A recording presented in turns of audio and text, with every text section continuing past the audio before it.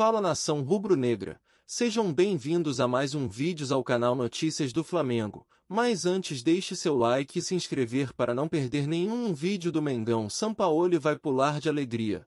Flamengo pode se reforçar com um trio de elite e dar opções de peso para treinador. Treinador argentino busca uma sequência de bons resultados. O técnico Jorge Sampaoli encerrou a preparação do Flamengo para o que promete ser uma semana bem agitada na Gávea. Primeiro, a equipe carioca tem compromisso pelo Brasileirão e logo em seguida, na terça-feira, 17, enfrenta o Fluminense pela primeira partida das oitavas de final da Copa do Brasil na última atividade antes do embarque para Salvador.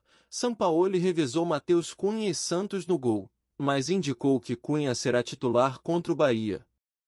Recuperado de lesão, Thiago Maia volta a ser relacionado e fica à disposição do técnico contra o Bahia. Pelo Brasileirão, Sampaoli conta com o retorno de Gabigol e ainda vai pular de alegria por ter mais reforços no elenco. De acordo com informações do jornalista Vene Casagrande, em um canal no YouTube, Felipe Luiz, Varela e Gerson estão em reta final de transição e podem ser relacionados contra o Fluminense.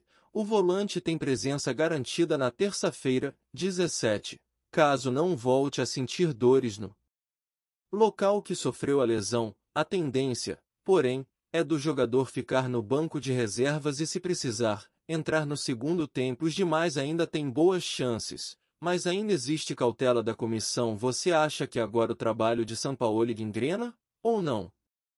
Torcedor fiel deixe seus comentários abaixo, sua opinião é muito importante para nós até mais.